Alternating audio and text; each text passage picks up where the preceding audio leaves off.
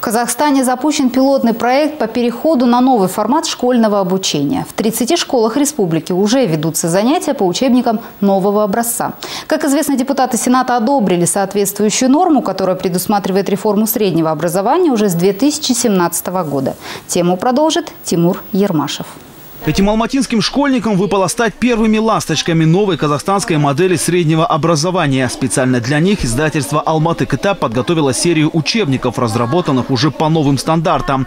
Пока что таких школ всего 30 по всей республике. Однако уже с 2017 года все первоклашки страны начнут обучаться уже по новым учебным пособиям. Начиная с нового года, с января месяца, мы уже работали над проектом пилотной школы, и мы уже знали, что наша школа будет пилотная. Э, я э, ездила обучаться, мы в Астане нас обучали, и э, вот в сентябре мы получили уже учебники по новой программе, и моему классу достались учебники издательства «Алматы Китап».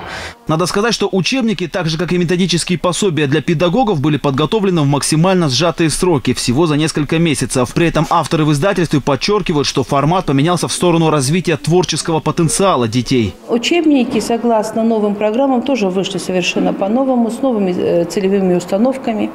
А, материал подается а, уже согласно того, что требует цель.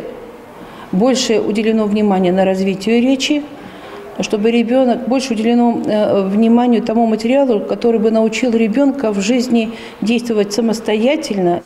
Ожидается, что уже с 2017 года обучение в школах будет начинаться с шестилетнего возраста. По мнению разработчиков проекта, изменение формата обучения позволит казахстанским школам перейти от чрезмерной перегруженности знаниями и энциклопедичности к умению анализировать, делать выводы и критически мыслить.